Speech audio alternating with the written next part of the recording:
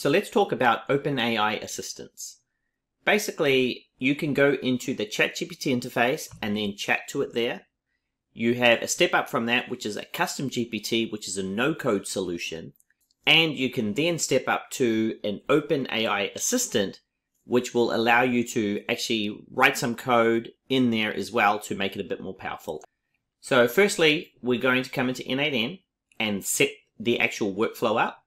So you click on add first step and then click on on chat message. Then we add another node, which is an AI. You have AI agent, which you some people are familiar with. You also have another one called OpenAI. If you click on this, you'll get a whole list of options here. What we're going to do is click on message and assistant. So we come over here, you connect your OpenAI account, and then under assistants, you'll click on the drop down. You'll notice we have nothing here at all. So we're going to go ahead and build a custom assistant and then attach it here. So we come over to the OpenAI playground area, and then within that you have a setting called assistants. As you can see, we have no assistants created, so we're going to go ahead and create one. So let's hit create. Now, simple interface here. First, we'll start with a name. So let's call this a Twitter agent. And what we're going to do is just put in some text here. Just a simple prompt. And we're going to go for GPT-4o Mini. You have a lot of options here. You also have some tools that you can add. So you can do a file search tool, which is like a RAG. So you can upload files for the GPT to learn from. You can also use as a code interpreter.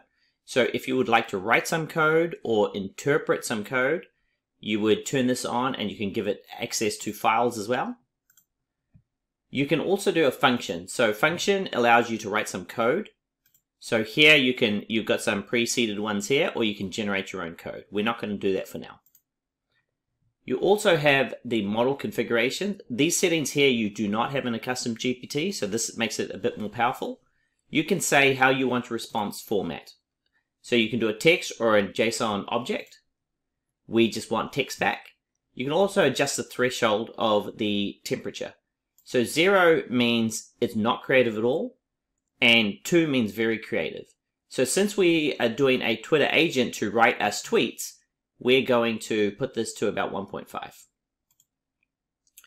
Now also for top P, top P is OpenAI's way of determining how it generates the next word.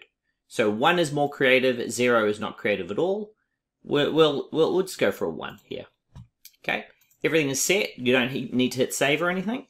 So now we can write our message to the bot. So I can say, create a tweet about N8N.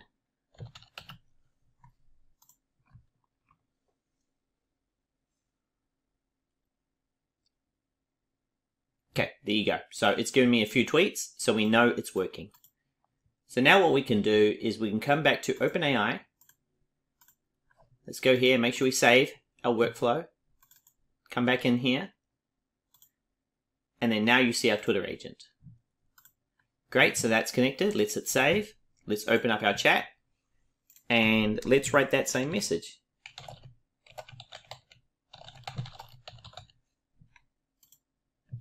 And let's see if it works. Great. As you can see, it's done the same thing as before. It's written three different options for us. So now what we want to do is make sure this works as a standalone bot. So if we come into chat, message received, and then make this public, we also want to add our CORS field here. So let's do all of that. We copy this URL and then save. And all going well, we should be able to come over here one thing you'll notice is that we get in an error here. So the workflow must be active. What you'll notice here is that we have an error that says the workflow must be active.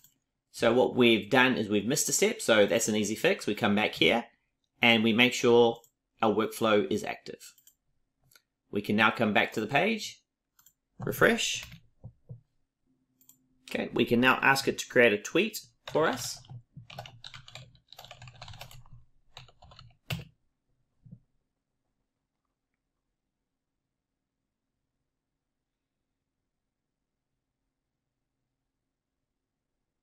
And there we go.